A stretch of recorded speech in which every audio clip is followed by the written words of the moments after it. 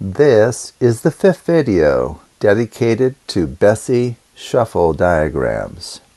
So as a reminder, a shuffle S is said to be a Bessey shuffle if and only if S preserves or inverts Bessey sequences. Recall the Bessey sequences of order 8 are 1001, 0110, and its inversion 0110, 1001. Also recall that the eight digits 1 through 8 are color coded as follows. The digits 1, 4, 6, 7 are color coded black, and the digits 2, 3, 5, 8 are color coded red. We do this to help us keep track of the movement of these two sets of position values for the cards.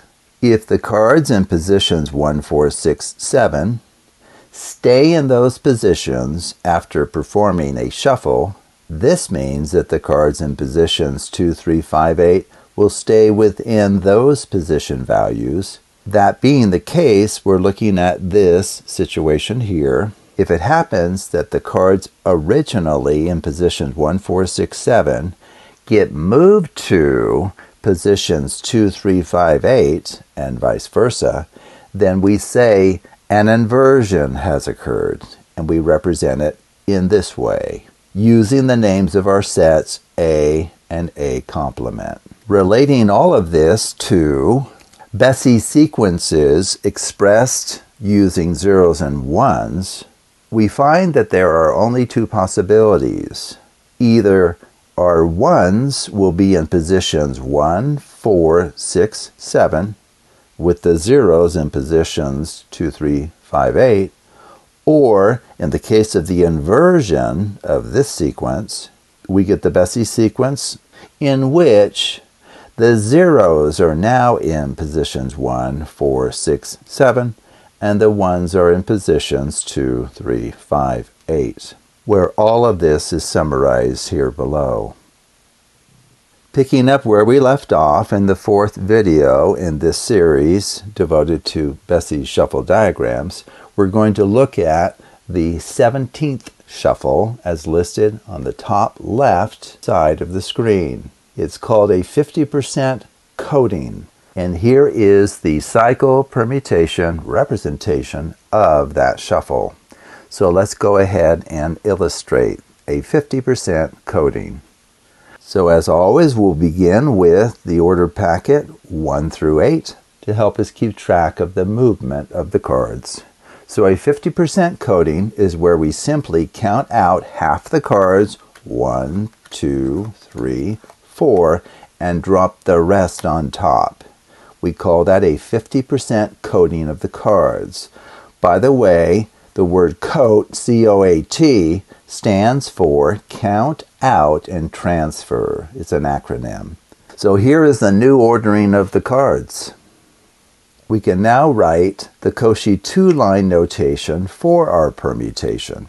It will be as follows the top row consisting of 1 through 8, and our new ordering making up the bottom row. So we see that we have 5, 6, 7, 8, 4, 3, 2, 1. Cauchy's two-line notation can now be written in one-line notation, also called cycle notation. Recall how this works is we see that 1 goes to 5, so there's an arrow from 1 to 5. 5 over here goes to 4. 4 goes to 8. And then 8 goes to 1. So it wraps around, completing a 4 cycle. 1, 5, 4, 8. Looking at what happens to the value 2, we see that 2 goes to 6, 6 goes to 3, and 3 goes to 7, and finally 7 goes to 2. So it wraps back around, resulting in a second 4 cycle. This accounts for all 8 digits. If we color code this cycle notation of our permutation, we obtain the following. Black 1 goes to red 5, which goes to black 4, which goes to red 8, which wraps around and goes to black 1. Red 2 goes to black, five, which goes to red 3, which goes to black 7, which wraps around and goes to red 2. So we see here that each value gets sent to a value of the opposite color. When that happens, inversion has occurred. So again, this means that the cards that originally began in positions 1, 4, 6, 7 have now moved to positions 2, 3, 5, 8 in some assignment. In fact, the assignment is given by our cycle description of the permutation.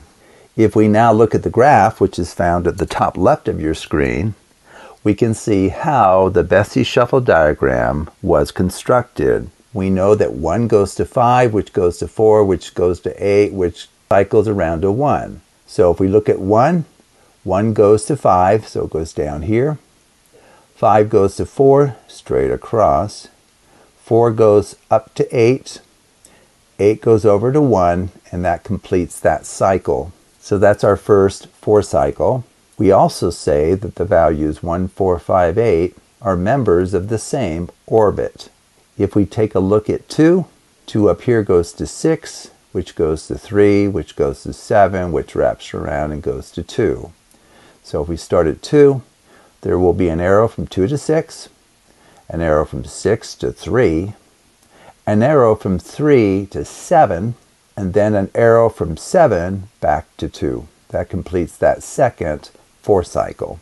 And those four values constitute a second orbit. And as indicated up here, inversion has indeed occurred.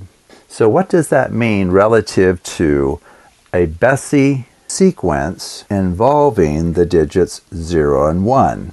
Well, what it means then is if we perform a 50% COATing of this packet, the zeros and ones will switch places. So we'll get the inversion. So why don't we quickly just show that. So one, two, three, four. That's 50% of the cards. Drop the rest on top. Did we get an inversion of the original sequence? We did indeed. It now begins with 0, then 110, followed by 1, 0, 0, 1.